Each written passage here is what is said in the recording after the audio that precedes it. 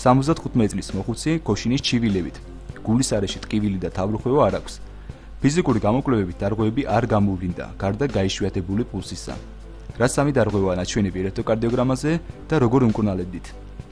ხედავთ რომ გულის რიტმი არის სინუსური, რეგისტრირდება პეკბილები QRS კომპლექსების წინ, მაგრამ ყოველ მეორე პეკბილს QRS კომპლექსი არ მოსწევს.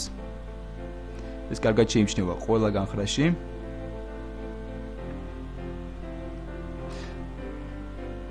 და აი ამის გამო პარკუჩების შეკუმშვის სიხშირე არის გაიშვიათებული. აქ ერერ ინტერვალზე დარტყმობით ის შეადგენს 45 წუთში. გულის ერთული ღერძი გადახრილი არის მარცხნივ, ბინაიდან გვაქვს დომინანტური ერკბილი პირველ განხრაში, მაგრამ ეს კბილის პრედომინანტურობა მეორე, მესამე განხრებში. ასევე ამჩნევთ ერკბილის არასაკმარის პროგრესიას B1, B2, B3, B4 განხრებში. აი მცირე შეიმჩნევა B3-ში, მცირე ამპლიტუდისა B4-ში და ნორმალური ამპლიტუდისა უკვე ხდება B5 განხრიდან. ეგბილები ნორმალურია.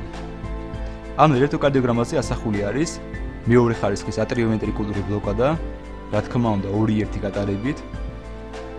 და სწორედ ამის გამო აქვს ამ პაციენტს კოშინი. ამ 2-1 გატარების შედეგად პარკუჩების შეკუმშვის სიხშირე გაიშვიათებულია რაც გამოვლინდა დისპნოეთი.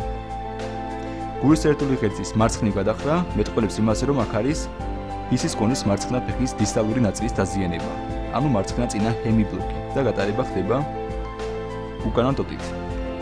ერკბილის არასაკმარისი პროგრესია B3 განხრაში და მისი მცირე ამპლიტუდა B4 განხრაში მეტყველებს იმას, რომ ამ პაციენტს აქვს ადრე გადატანილი მიოკარდიუმის წინა კედლის ინფარქტი. პაციენტს ჭირდება რა თქმა უნდა მუდმივი კარდიოსტიმულაცია. ანუ ელექტროკარდიოგრამაზე ასახული სამი დარღვევა არის მეორე ხარისხის ატრიოვენტრიკულური ბლოკადა, მარცხენა წინა ჰემიბლოკი და მიოკარდიუმის წინა კედლის ძველი ინფარქტი.